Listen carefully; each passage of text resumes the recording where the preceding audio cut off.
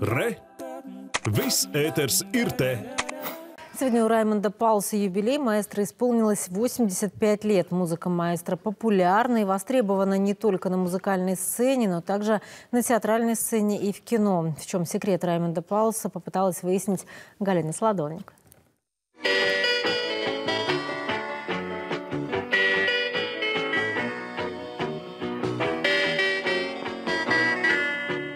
Не только песнями и музыкой для фильмов дорог мне Раймонд Паус, признается кинорежиссер Янис Стрейч, но и тем, что он раскрепостил самовыражение в латвийском искусстве. Не боясь критики, показал, что наша музыка может быть красочной, мелодичной и понятной всему миру.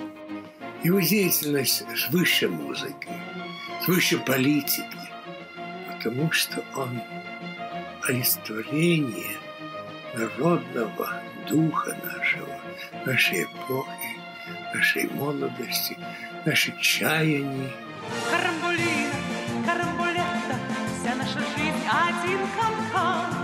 Именно мюзикл на музыку Раймонда Пауса «Дамский рай» стал спектаклем, который 10 лет назад положил начало возрождению Дагувпилского театра, рассказывает режиссер этой постановки и директор театра Олег Шапошников. Музыка маэстро стала знаменем победы.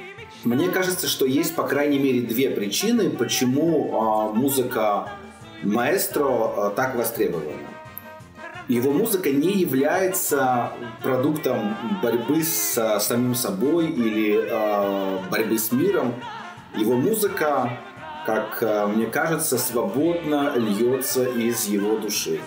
До тех пор, пока на нашей планете любовь и жизнь э, будут побеждать и торжествовать, до тех пор э, музыка маэстро Паулса будет и любима, и востребована. Мадонна, я волшебникам не верю.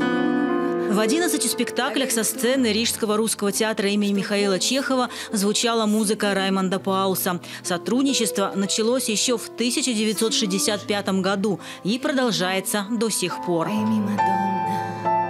Здесь немаловажен фактор, на мой взгляд, сама личность маэстро. Он очень отзывчивый человек с юмором, а, глубокий человек, человек, с которым а, легко и приятно сотрудничать, находить общий язык. И как я понимаю а, и наслышана от своих коллег, которые довольно тесно работают с маэстро, с ним всегда можно договориться. Он чувствует актера, актер чувствует его, и это для театрального искусства, конечно же, является одним из основных компонентов успеха. Листья желтые над города кружатся. С тихим шорохом нам ложатся Листья желтые в современной обработке и исполнении Катрины Гупола. Вдохновение для творчества в музыке Раймонда Пауса находят и молодые латвийские певцы, и зарубежные музыканты. Российская группа «Каста» выпустила песню «Под солнцем затусим». В качестве сэмпла рэперы использовали песню «Тавс Саутсенс». Раймонд Паус это, – это музыка очень существенная и красивая. Он, он битмейкер, он супер крутой битмейкер. Сегодня мастера Раймонду Паусу исполнилось 85 лет. Мы от всего сердца желаем вам наикрепчайшего здоровья, чтобы поскорее мы встретились на сцене, и чтобы вы радовали нас еще долгие-долгие годы.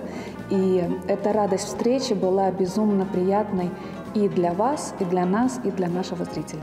В этот праздничный день Весь коллектив Даугавпилского театра посылает маэстро самые позитивные мысли, самые позитивные эмоции и огромное количество любви.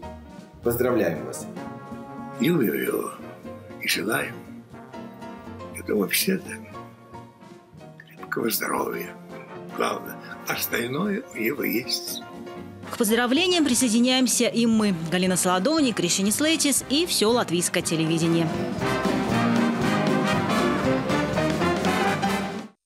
Полное интервью с российской группой «Каста» можно найти на страничке русского вещания в Фейсбуке. Ну а завтра Раймонда Паулса с юбилеем поздравит и ведущий нашей развлекательной передачи «Маленькая пятница». В студии хоть и по скайпу будет сам маэстро.